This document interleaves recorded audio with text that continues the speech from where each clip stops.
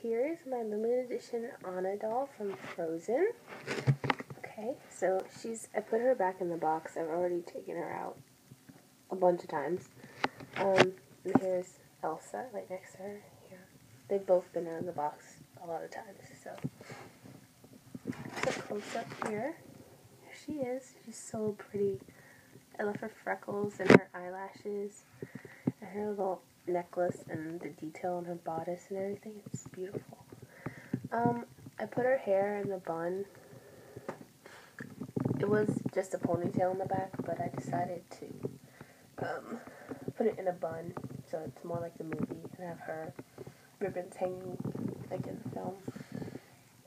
I think it looks really nice and she looks a lot more sophisticated, um, even though she's not really.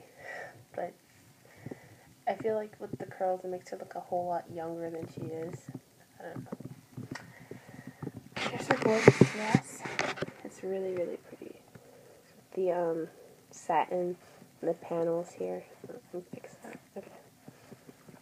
Yeah. The bottoms, and she has like black flats on.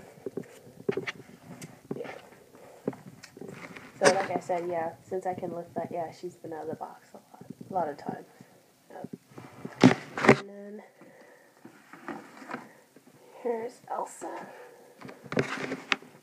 Elsa's my favorite. Um, yeah, they've both been out of the box a whole lot of times.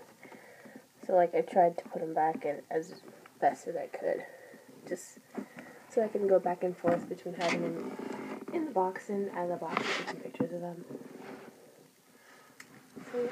Here's Anna and Elsa, my frozen dolls.